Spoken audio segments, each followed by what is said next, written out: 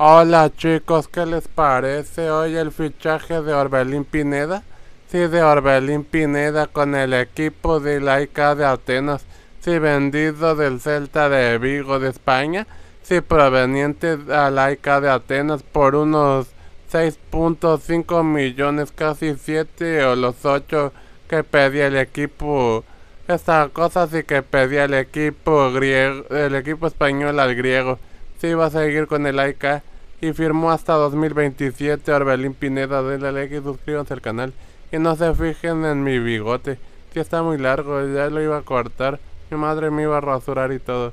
Está así, pero no, no me rasuró, tal vez mañana. Denle like y suscríbanse.